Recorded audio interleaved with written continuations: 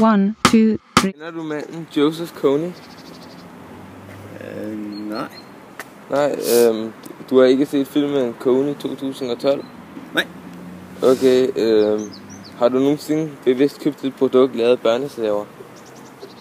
Øh, altså sådan, hvor jeg vidste, at det var... Nej. Ja. Øhm, ville det have haft en effekt, hvis du vidste, at det var lavet af børneslaver? Ja, så bliver jeg nok tænke mig lidt mere om, ja. Ja. Okay, Kender du manden. Joseph Kony? Nej. Øh, du har ikke set filmen Kony 2012? Nej. Okay, øh, har du nogensinde bevidst købt et produkt lavet af børneslaver? Nej. Vil det have en effekt, hvis du vidste, at det var lavet af børneslaver? Ja, det ville det nok. Et eller andet sted. okay. Okay. Ja. okay. Øhm, kender du manden Joseph Kony? Hvilken Joseph Kony, kender du ham? Nej. Ah, Du har ikke set filmen Kony 2012? Nej. Okay, øh, har du nogensinde bevidst købt et produkt, du vidste var lavet af børneslaver? Øh, vil det have haft en effekt, hvis du vidste, det var lavet af børneslaver? Nej. Okay. Okay. Okay, tak. Tak. Kender du manden Joseph Kony? Joseph Kony? Mm. Okay, har du, du har ikke set filmen Kony 2012? Har du nogensinde bevidst købt et produkt lavet af børneslaver? Nej. Vil det have en effekt, hvis du vidste, det var lavet af børneslaver? Ja. Okay. Kender du manden Joseph Kony? Jeg har hørt om navnet, ja, men øh, lige nu kan jeg ikke lige sætte det i sammenhæng til noget. Nå, okay. Øh, det er, har, du har heller ikke set filmen Kony 2012? Nej, det tror jeg ikke, jeg har. Okay. øh. Har du nogensinde købt et produkt, du vidste var lavet af børneslaver? Ikke bevidst, nej, men det har jeg sikkert gjort, som mange andre, ja. Øh, ville det have haft en effekt, hvis du vidste, det var lavet? Bestemt, ja. Øhm, kender du Joseph Kony, eller har du hørt om ham? Hvem?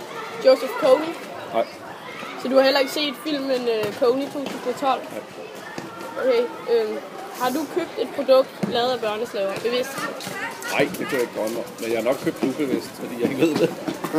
Så det vil have en effekt, hvis du vidste, det var Ja. lavet af børneslaver?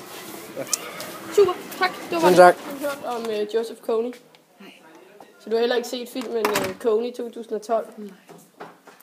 Har du øh, nogensinde købt et øh, produkt lavet af børneslaver? Det ved jeg ikke. Så øh, hvis du vidste, det var lavet af børneslaver, ville det så have en effekt på dig? Vil du så købe et andet produkt? Kom an på pris. Okay, mm. tak. Det var Selv tak. det. Velkommen. Har du nogensinde hørt om Joseph Kony? Ja, Hvad synes du om ham? han er øh, en både en ond mand, men også en sjov mand, fordi at Konys laver gør lidt sjov med ham og sådan noget. Øh, har du så nogensinde set filmen Kony i 2012? Nej, Køber du nogensinde produkter, som du ved er lavet af børneslaver? det, det kan godt være, det tror jeg. For Men- eksempel øh, tøj og sådan noget. Men det vil have en effekt, hvis du vidste, det var lavet af børneslaver. Så vil du vælge noget andet, eller hvad? Nej, det tror jeg faktisk ikke. Nej, det tror jeg ikke. Det er jo Tak, hjemmelavet. Kender du Kony? Ja, sådan en lille smule. Øh, har du så set øh, Kony 2012? Jeg har ikke set hele filmen. Du snakker om filmen. Jo, det har Jeg har jeg. ikke set hele filmen, men jeg har set lidt af den. Hvad øh, synes du om den? Jo, men det er lidt tid siden, men øh, jeg husker da, at, det er en, øh, at den er rimelig interessant. Hvordan øh, de havde det og så videre. Okay, øhm, har du nogensinde købt et produkt, der er lavet af børneslaver? Ja, det tror jeg er masser af produkter, jeg har købt, der havde med det at gøre. Det er selvfølgelig ikke noget, jeg synes er særlig fedt, men øh, det tror jeg helt bestemt, jeg har.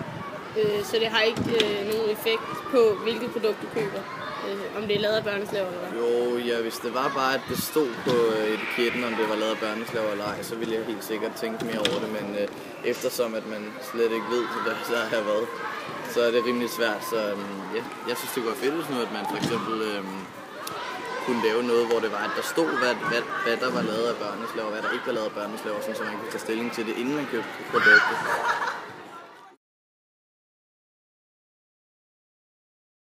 Har du nogensinde hørt om Joseph Kony? Ja, Hvad synes du om ham? Jeg elsker ham. Hvordan kan det være?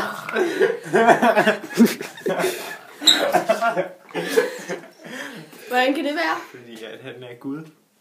Okay, har du set filmen uh, Coney 2012? Ja, jeg har også onaneret til den.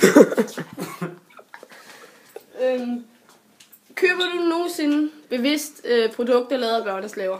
Nej, jeg foretrækker at få min egen børneslaver til at lave det. tak, Mark.